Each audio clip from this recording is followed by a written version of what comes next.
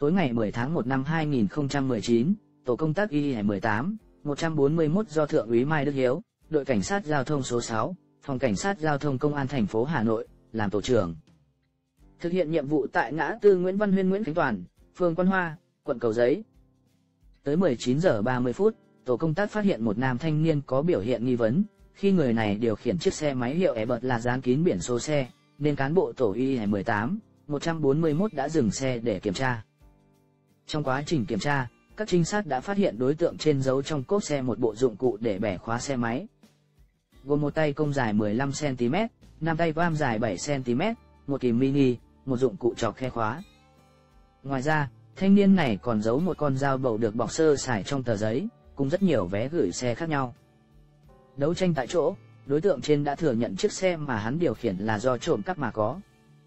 Danh tính người này được làm rõ là Bùi Mạnh Ấn, SN 1992, trú tại huyện Mỹ Đức, Hà Nội.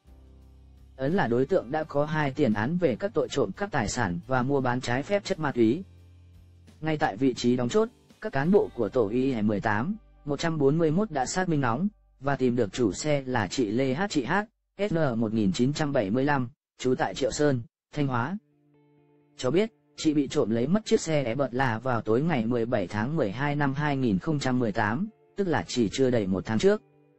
Sau đó, tổ công tác Y18, 141 đã bản giao đối tượng cùng tang vật về công an phường Quan Hoa để xử lý theo quy định của pháp luật. Đã tới trụ sở công an để làm thủ tục, đồng thời viết thư cảm ơn gửi tới tổ công tác Y18, 141. Trong buổi tối ngày 10 tháng 1 năm 2019, người nhà của chị Hát. Việc phát hiện, bắt giữ kịp thời đối tượng trộm cắp chuyên nghiệp đã giúp thu hồi tài sản cho nạn nhân. Cũng như ngăn chặn những vụ án có thể xảy ra, bởi trong cốp xe của đối tượng, chúng tôi đã thu giữ được nhiều mẫu vé của các bãi xe khác nhau, cùng con dao bầu sắc nhọn. Khi nhận được lời cảm ơn của gia đình người mất xe, chúng tôi cảm thấy rất vui và như được tiếp thêm động lực để làm nhiệm vụ tốt hơn nữa, Thượng úy Mai Đức Hiếu tổ trưởng tổ công tác Y18, 141 bày tỏ.